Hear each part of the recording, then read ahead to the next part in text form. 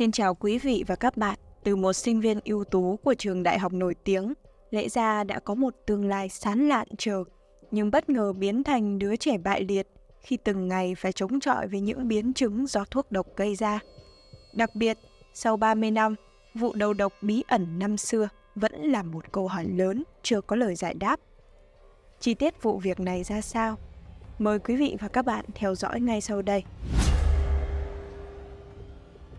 Từ một cô gái khỏe mạnh, bất ngờ đối mặt với sự suy thoái của cơ thể theo từng ngày.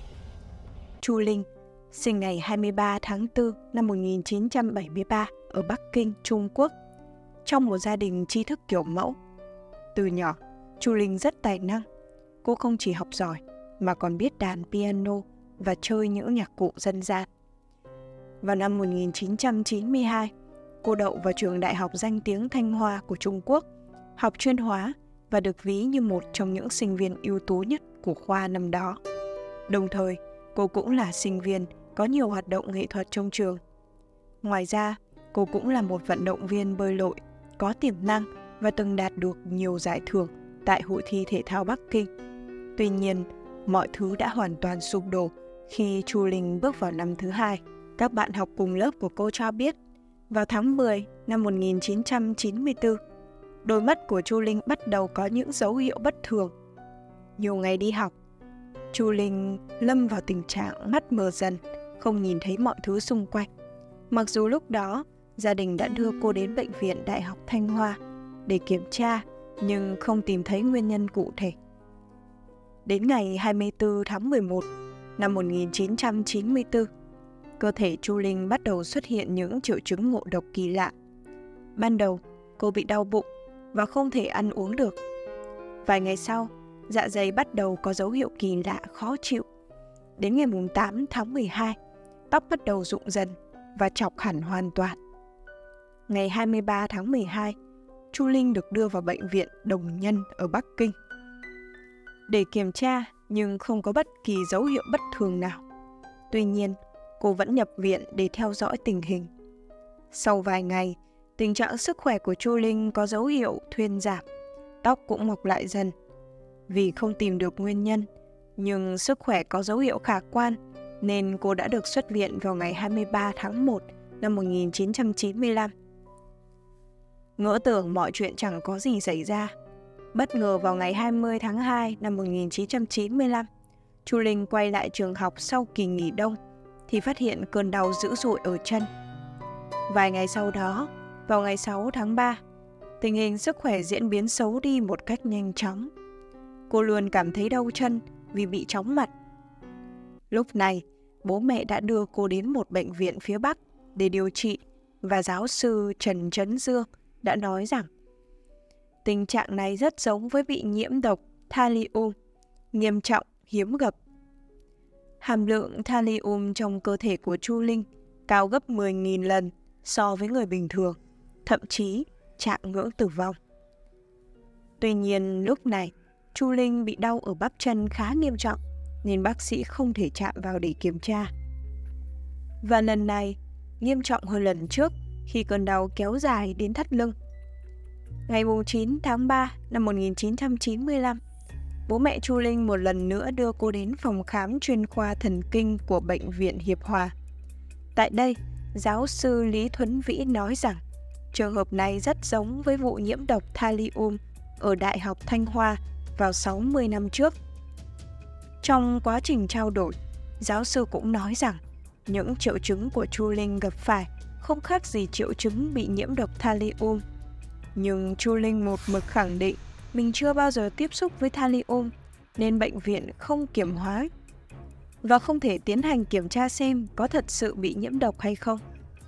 Sau lần này, bệnh tình của Chu Linh ngày càng nghiêm trọng, bắt đầu xuất hiện tình trạng co rút cơ mặt, cơ mắt tê cứng, mất tự chủ trong việc hô hấp. Lúc này, bệnh viện Hiệp Hòa đã chữa trị theo bệnh án viêm đa dây thần kinh cấp tính. Không lâu sau, cơ quan hô hấp của cô cũng bị suy thoái. Bác sĩ quyết định tiến hành phẫu thuật mở khí quản. Dù làm mọi cách, nhưng vẫn không thể xác định được nguyên nhân gây bệnh thật sự. Cuối tháng 3 năm 1995, Chu Linh rơi vào trạng thái hôn mê sâu Mãi đến 5 tháng sau, là vào cuối tháng 8 năm 1995, cô mới tỉnh lại. Trước tình hình này, bạn bè của Chu Linh đã quyết định chung tay giúp đỡ cô bằng cách phiên dịch tình trạng bệnh thành tiếng Anh và gửi mail cầu cứu thông qua Usenet, một hệ thống thông tin toàn cầu dưới dạng diễn đàn thảo luận. Sau đó, họ đã nhận được thư phản hồi của hơn 1.500 bác sĩ đến từ khắp nơi trên thế giới. Trong đó khoảng 1 phần 3 số câu trả lời rằng đó là hiện tượng ngộ độc thallium điển hình. Đây được biết là chất hóa học cực độc, từng được dùng trong thuốc diệt chuột, côn trùng, nhưng do có khả năng gây ung thư nên sau này đã bị cấm hoặc hạn chế sử dụng. Sau khi được chẩn đoán chính xác căn bệnh bí ẩn, Chu Linh nhanh chóng được các bác sĩ tiến hành chữa trị, giải độc. Tuy nhiên, thời gian phát hiện bệnh quá trễ nên tình trạng sức khỏe của Chu Linh dường như khó cứu chữa. Chất độc thallium sau một thời gian ngấm vào người đã khiến Chu Linh bị liệt hai chân, thị lực suy giảm, gần như là mù. Cô không thể tự thở vì hệ thống hô hấp bị suy thoái, phải nhờ đến máy trợ thở. Không những thế, chất độc cũng ảnh hưởng đến chức năng não bộ của Chu Linh, khiến cô từ một sinh viên ưu tú bỗng trở thành đứa trẻ bại liệt, mất khả năng sinh hoạt hàng ngày và phải cần người hỗ trợ. Tìm ra chân tướng Cuối tháng 4 năm 1995, sau khi xác nhận được tình hình của Chu Linh, bố mẹ cô đã tiến hành gửi báo cáo đến nhà trường cũng như báo án đến cảnh sát Đại học Thanh Hoa. Trước đó, các bác sĩ đã thử nghiệm và chẩn đoán rằng Chu Linh đã bị đầu độc một cách cố ý. Lúc còn tỉnh táo, Chu Linh từng nói rằng mình chưa từng tiếp xúc với thallium. Bác sĩ Lý Thuấn Vĩ không tin nên đã nhờ người phụ trách phòng thí nghiệm ở khoa hóa yêu cầu đưa danh sách các sinh viên tiếp xúc với hóa chất thì không có tên của Chu Linh. Giữa năm 1995, cảnh sát Bắc Kinh chính thức thụ án và tiến hành điều tra vụ đầu độc đầy bí ẩn này.